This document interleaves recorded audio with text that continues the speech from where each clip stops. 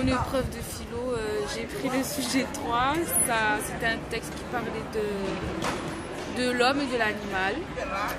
Et, euh, j'ai hésité avec le sujet 2 qui parlait du bonheur, mais j'ai préféré le, texte, le sujet 3. Ça s'est plutôt bien passé, j'appréhendais un peu, mais au final c'était bien.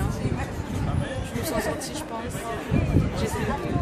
Moi j'ai choisi le dernier sujet, donc une explication de texte, et j'ai pas hésité parce que les deux premiers sujets ne m'inspiraient pas du tout. Et moi j'ai pris le sujet 2 et euh, parce que l'explication de texte, non je pas j'ai préféré prendre une disserte, c'est ce qui me parlait le plus. C'était peut-on se libérer de sa culture?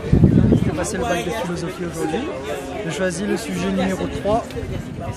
C'était quoi le sujet? C'était la culture. Ça s'est bien passé? Ça va, ça va, ça a été.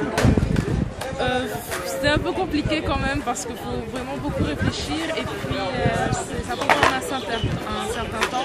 Donc c'est long mais au final il euh, faut vraiment beaucoup, beaucoup développer et mettre vraiment tout ce qu'on sait. Mon cas c'était euh, notre sujet, c'était sur le vivant, la vérité, l'erreur. Et le plus gros était de bien comprendre le texte, bien cerner la thèse, mais une fois que c'était fait, ça se fait tout seul. Vous êtes plutôt sereine? Oui quand même. J'ai choisi le sujet 2. Ça s'est passé comment Bah, plutôt bien, ouais. plutôt confiant. On verra les jours de résultats maintenant. C'était quoi le sujet C'était sur euh, tout ce que j'ai le droit de faire est-il juste? Et là cet après-midi c'est quoi le programme euh, La révision hein.